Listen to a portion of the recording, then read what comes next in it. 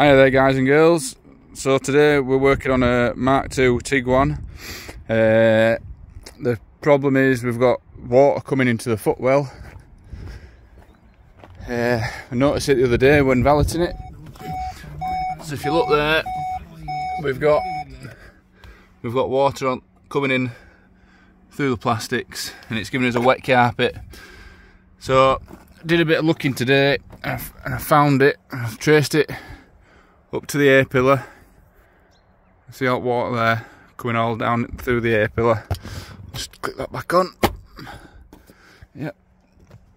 And uh, basically, what's happened is you you got your panor panoramic sunroof. This is the R line, and water is meant to go over the seal, go over the seal here, drain down this channel I don't know if you can see it, down into an hole in that bottom corner.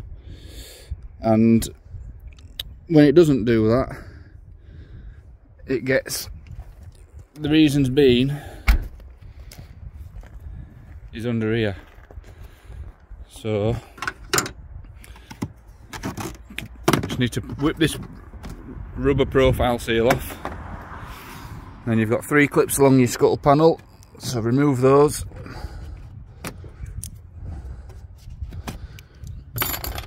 and if you have a look underneath there be advisable to get rid of all the leaves and debris because that blocks all your drains. And if you look in the back corners see that one there? I've already taken it off this one but there should be a red little valve on that. But this one's also clogged. This is why I'm doing the video to show you. So let me just get my screwdriver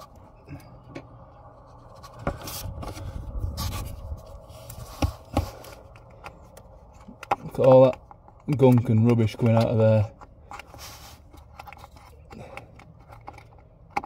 So that's clogging up your drain holes, therefore making your, the water come out of, uh, come into your car instead of draining through there. Nip to the other side. I'll show you under here. This one, yeah, I'll be getting rid of all that, all them leaves. Not if you can see on that one at the back. That's still got the rubber flap on. So just bear with me whilst I take that off. They just, they just pull off by hand, they're not, not too bad.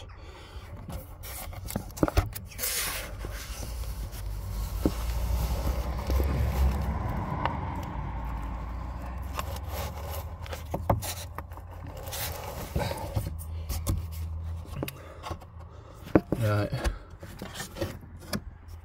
Let's have a look at that. Have a look at all that crap and rubbish that's come on that. So what these are designed to do is when when the drains fill up with water, that rubber flap's meant to drop down and drain your water out. But because they get all the grime and the the crap stuck in them, the uh, they clog up and they stop your water draining. And then that's when your water carries on draining down there meant to go down the hose but it doesn't so it goes over the channel and into your car.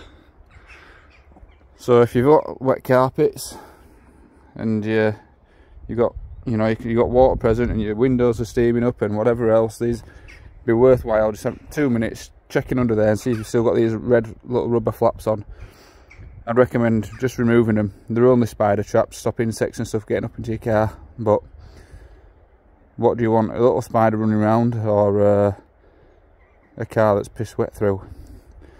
If you like the video, give it a like and there'll be plenty more to come. Cheers.